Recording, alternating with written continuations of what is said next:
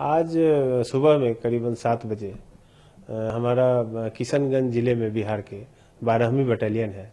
उसी की एक बीओपी है आमबारी। उस बटालियन के तेरह आदमी गश्ती में गए हुए थे।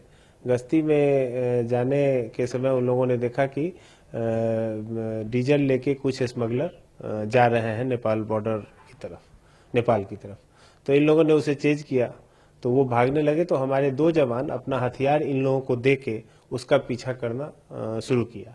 और पीछा करने में गलती से वो लोग इंटरनेशनल बॉर्डर क्रॉस कर गए और उधर एक उस तरफ़ गाँव थी उस गाँव तक पहुँच गए उनका पीछा करते हुए दो स्मगलरों का।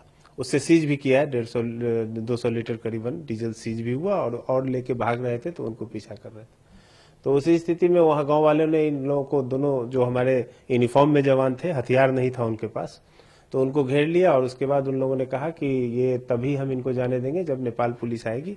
तो नेपाल पुलिस आ गई, उस समय वहीं पे वो उनका एपीएफ का आर्म पुलिस फोर्स नेपाल का एक पोस्ट है, उसी गाँव के पास में ही। तो वहाँ से वो लोग आ गए और दोनों जवान को अपने पोस्ट में ले गए। और इधर जो हमारे पीछे छुटे हुए जो ग्यारह जवान थे, एक सब इंस्पेक्टर था उसके अधीन में, वो जवान को पता चला कि उस तरफ़ चले गए हैं, उनका पीछा करते हुए जो ये लोग भी आए।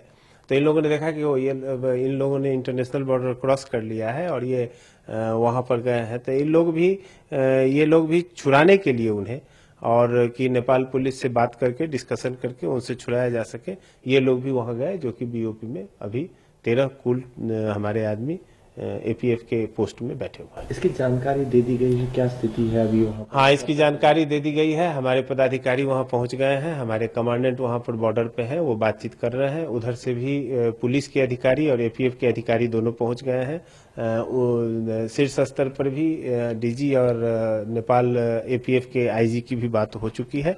और ये देखा गया है कि इसमें गलतफहमी में ये घुस गए थे दोनों जवान और स्मगलर का पीछा करते हुए घुसे थे और इस बात को समझ ली गई तो उम्मीद जताई जा रही है कि जल्दी हाँ जल्दी छोड़ दिया जाएगा। अब वहाँ से ये खबर आ रही है कि शायद वो लोग जो वहाँ पर नेपाल के कुछ नागरिकों ने उसे घेर रखा है पोस्ट के अगल बगल ज़्यादा आदमी जमा हो गए हैं।